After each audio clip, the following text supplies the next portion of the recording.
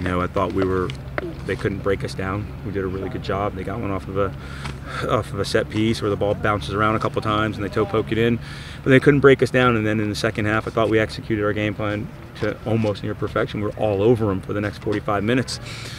Missed some really great chances to even the game up um, at 1-1. And I think uh, we're ruining that, missing those chances to pull the game even.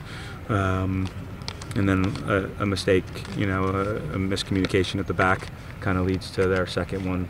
Uh, other than that, I thought we were really, really good on the evening. Uh, unfortunately, uh, this has been kind of the story of our season. We've been really good a lot, and tonight was a good example of it, where we played very, very well. Um, and credit Akron's a very good team. Um, but as the game wore on, we started to find more and more of it and take more and more control of it. We just didn't do a good job uh, finishing, finishing and getting, getting, getting the goal back that we gave up so early in the game you guys went were toe to toe, and mainly in the second half, you guys were toe to toe with them, mm-hmm. even with the t- uh, the team lacking in the offensive category. What does it speak about, like their not letting it get to their head that?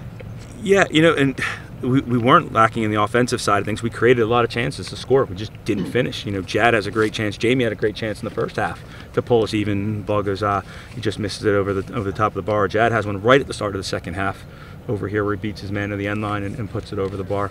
Um, we created a lot of offensive chances. We, they clear one off the line with their defense, clears one off the line. I think that's that's our sport. You know, our, our kids have uh, played very well. Our soccer's been good, and I can't fault us for our soccer. Um, our competitiveness was good for 87 minutes tonight. Um, I think the thing that we have to uh, we we have to really improve on is is, is, is just starting that way. You know, we, we started slow and it cost us.